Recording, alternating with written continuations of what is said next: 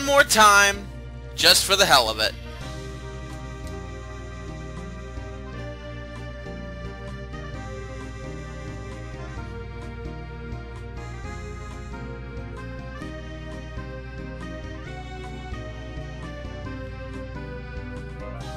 What is up, YouTube? I'm your friendly neighborhood NMan64, bringing you the last few episodes of Pokemon Black Redemption. In the last episodes, we've wrapped up all of the little side shenanigans outside of catching, uh, Tornadus, or Thundurus, whichever one I have to deal with. I think it's Tornadus. And getting a bunch of interesting Pokemon that you could potentially use for competitive playing. I went through a few weeks. It has been a very long time since I last recorded this, in case you're wondering. And as we are here now at level 70, I have beefed up everybody. Now, not that they don't have all the moves I want to just yet. We're going to put that on the wraps right now. But I have started to teach them some moves that will be beneficial for this fight through the Elite Four, among other things. I don't know why this thing is being so slow today. Actually, you know what? I do have a theory, but it's only a theory, but either way. We have our team of six. Everybody has done their part. Everyone's been doing pretty good so far. Some people have been holding things. Some people have been taking care of more weight than they've been given out. And for the most part, I think we're set for what should be an exciting last few episodes. There are only a few changes I would like to make. And they all have to do with moves. Um, okay. Not that I don't mind the theme for Route 10, it's just I'd rather it not just go all over again. So first things first, I have to make sure I have the move, because I do have a move I want to give to my homeboy, Zeus. And I do have it. Wild Charge in place of Thunderbolt. Now Thunderbolt has slightly more power, and Wild Charge does give off recoil damage. But as you saw, oh, Chipotle can learn it. Oh, that's interesting. Uh, Zeus's physical attack is much higher than his physic than his special attack. So that doesn't mean that I'm not going to give Zeus any form of special type coverage. I am going to be getting rid of acrobatics for obvious reasons. I'm no longer not holding any items, so there's no reason for me to have acrobatics on you. Also, considering I have a flying type, there's really no need to have it at all. We're going to go back to my homeboy, Flash Cannon. Steel's not that super effective of a type against much, but worst case scenario, I feel like Zeus will be able to do some pretty useful things with, with Flash Cannon. Potentially lowering an opponent's special, what have you. It's going to keep Crunch, it's going to keep Wild Charge. And worst case scenario, if I change my mind, we can change up and proceed through there. That leaves just one move that I need to edit.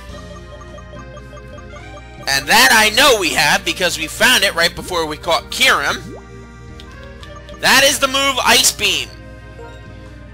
Not a lot of Pokemon can learn it, and Seismitoad, disappointingly, aka Tsunami, cannot learn it. However, Skylar and Daenerys both can. Because Daenerys is bulkier, I'm going to be giving her Ice Beam in lieu of Flamethrower, which I had taught her mostly for A, for type for extra move damage, and so I could have a fire type attack. But this Elite Four is kind of weird. We don't really need an extravagant fire type attacker here. And honestly, I don't have any need for any special items or what have you, so before we go into the meat of this, I would like to talk a bit about the team as we proceed on this final trek through both Route 10 and Victory Road. Zeus has been the most adventurous Pokemon I've ever had. It was hell finding him, but every time I've needed a big hit, Zeus has come through when I've needed it most. He was extremely useful in helping battle Pokemon and beef these guys up in the Giant Chasm. His Thunder Wave has helped us catch a bunch of different types of Pokemon.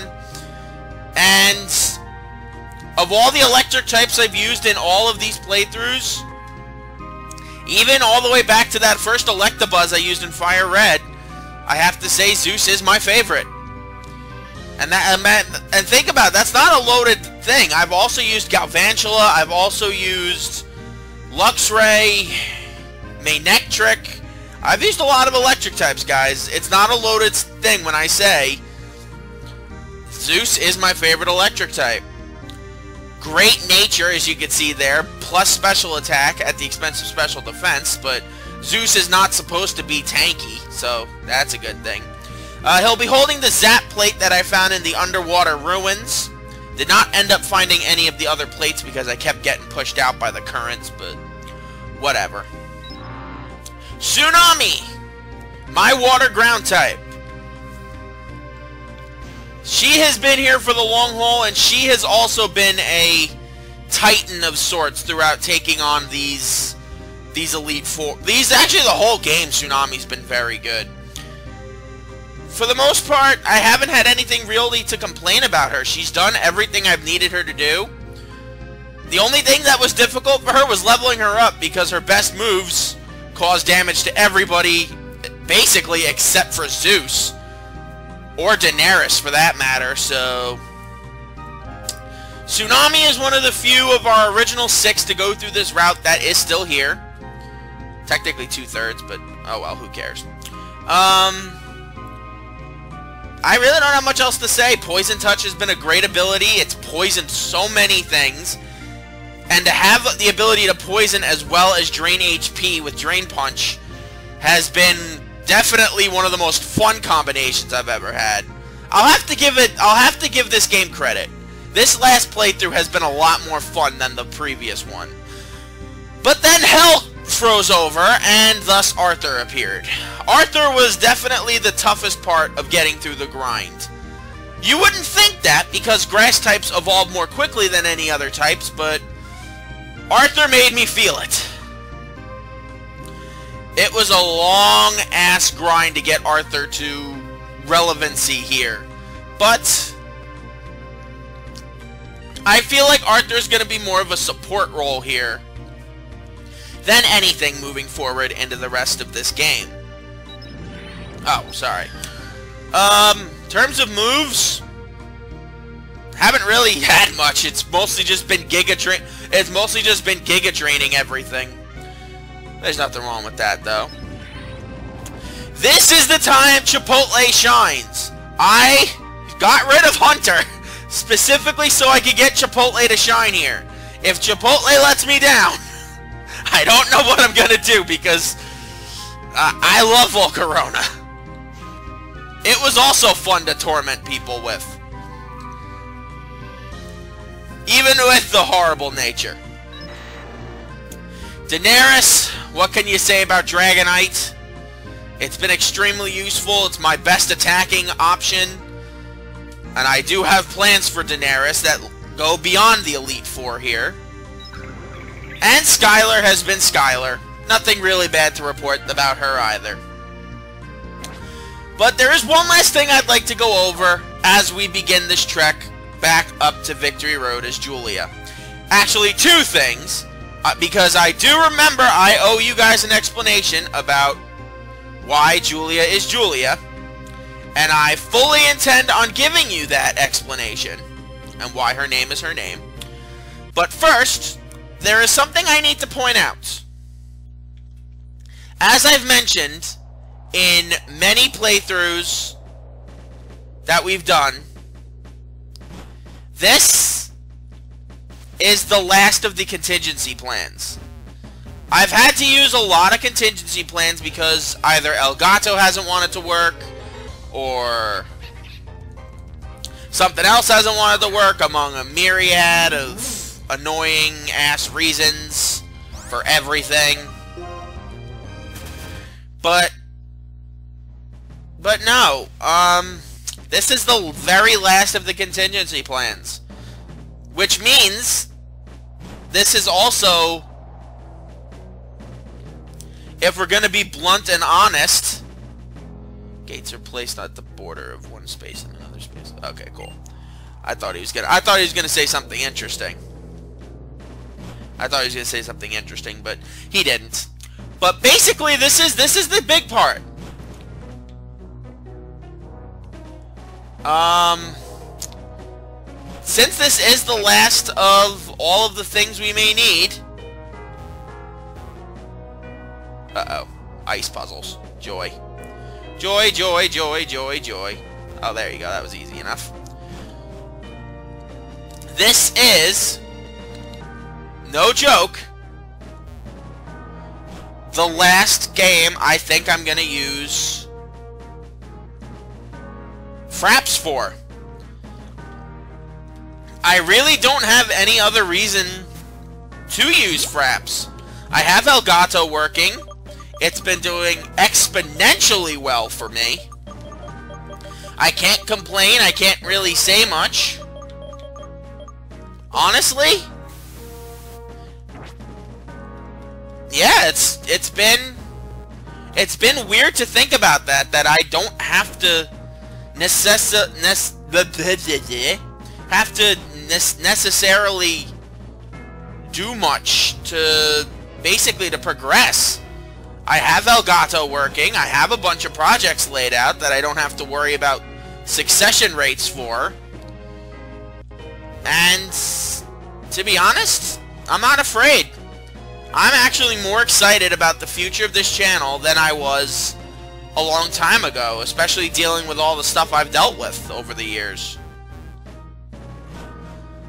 Uh, let's see. Let's cross over here. I have to re-navigate this because I have no idea where the hell I'm going. I'm pretty sure. I'm pretty sure this is the right way, though. And Doctor, I don't think we need you yet. You don't have to give me the news. I do not have a bad case of loving you.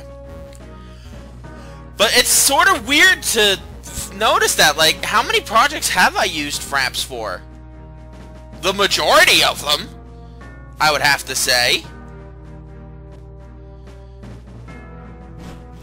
And I honestly can't do much worse, and, uh, yep, here we are. Let me think here for a minute before we begin this last fight with our quote-unquote rival. One, two, three, four, five, six, seven, a good chunk of seven at least, eight, nine, ten, eleven, twelve, thirteen, fourteen, a good chunk of 15, 16, a good chunk of 17, 18, 19, 23, and 26. Of all those Let's Plays, I have needed Fraps for. I'm probably... Oh, yeah, and 20, 27 for Kingdom Hearts Days. Those are all the projects I've used Fraps for. And to be here and witnessing that it might be coming to an end? I don't know, I feel kind of weird. And in order to make myself not feel weird anymore, let's kick Cheren's face in. Because that never makes me feel weird.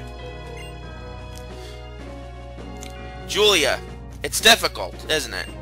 When you confront yourself, you have to notice things about yourself that aren't too flattering. Of course, and no one can get away from themselves. Oh, hello. Marshal? My mentor told me you were here, so I came to see. Listen, even if you lose in battle, if you surpass what you've done before, you have bested yourself. Take the opportunity of a battle to look at your opponent, look at the Pokemon involved, and look at yourself. Are those Alder's words? Maybe, but I'm borrowing them. What I want are battles with trainers who believe in themselves, like that. When I mix it up with a trainer like that, both my Pokemon and I get even stronger.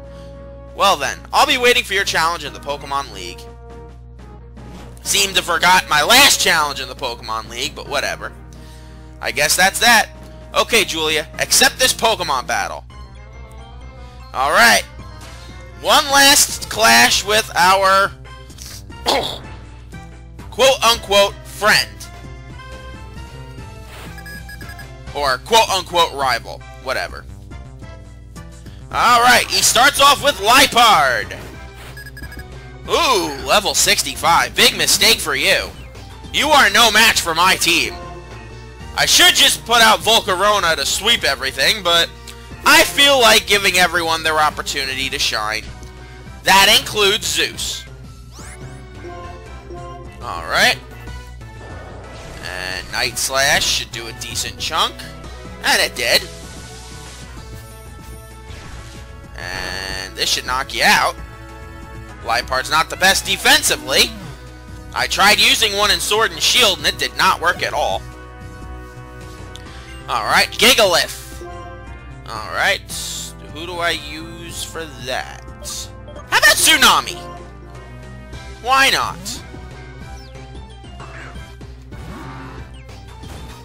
Why the hell not, Tsunami? You've earned it. And Surf. Surf you into oblivion.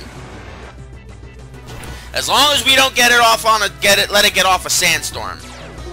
I don't think this thing knows sandstorm. Oh, stealth rock, you piece of shit. So much for putting Volcarona out there. That's not gonna help. So I guess Tsunami sweeping this. Or the rest of the team. Alright. Uh, Simisage, of course. You know what? No. No. You need to overcome your fear of grass type, Tsunami. You're probably slower, but I don't care. Okay, you're slower. And I do care. And I think you're dead. You are most certainly dead. Okay. Maybe flying helps you avoid Stealth Rock? Please? It does. Okay, good. I was afraid. I don't remember the, all the necess things of Stealth Rock because I've never done competitive Pokemon. Or when I do, I don't have any flying types. I know Levitate does. I have to thank, uh, what's his name? False Swipe Gaming for teaching me that. I've learned a lot from him, actually. You guys should go watch his videos. Uh, well, my water type's dead, so I'll take advantage of Emboar's weaknesses to psychic types. Hopefully you don't have a rock type attack. Oh, you lived, you turd. Oh. Oh my lord, head smash. Oh, isn't that gonna kill you though? So it's a double KO? Yeah, it's a double KO, okay. Hey, I will give you this, Cheren. You are doing better than a lot of other people are. Alright, Daenerys. And Unfezant, which is no match for me. Oh, Stealth Rock did work. Oh, oh no. That's not good. That's not good at all.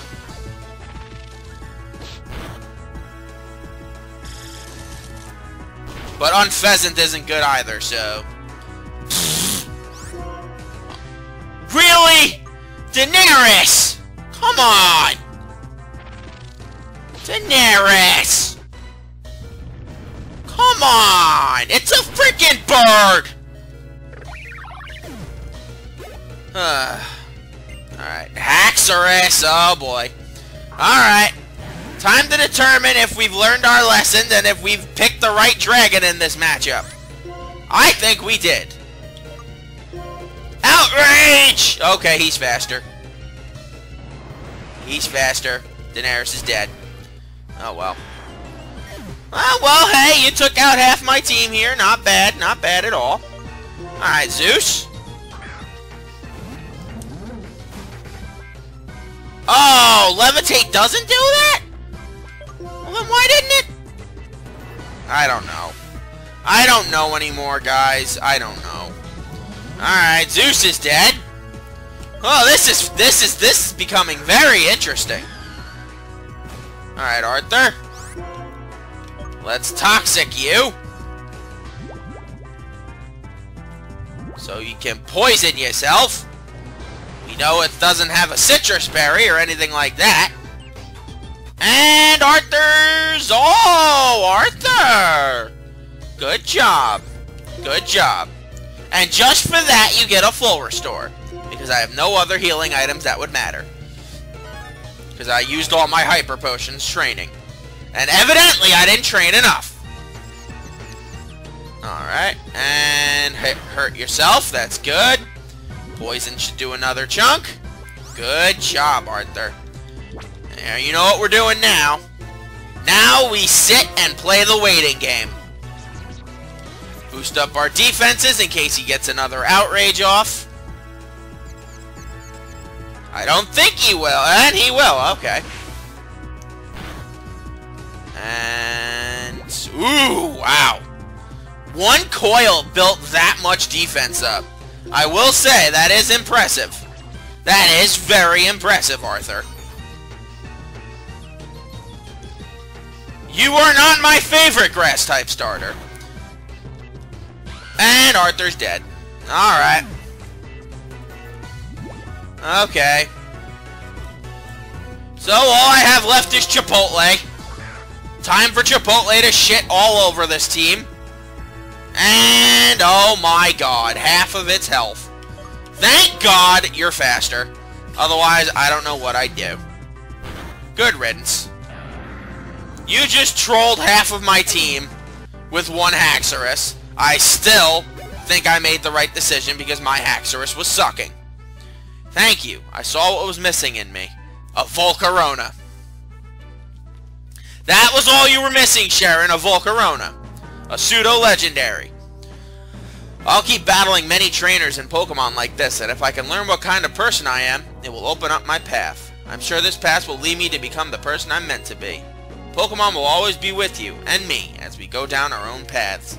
Our important friends, Pokemon.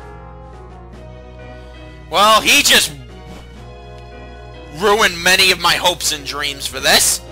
So, while I go heal and spend all of the money that I have on healing items before this Pokemon League battle, which we shouldn't have to do, I will leave things off here. So thank you guys for joining me. I'm your friendly neighborhood NMan64. Join me next time for our crusade to the Elite Four. Until we meet again, sayonara.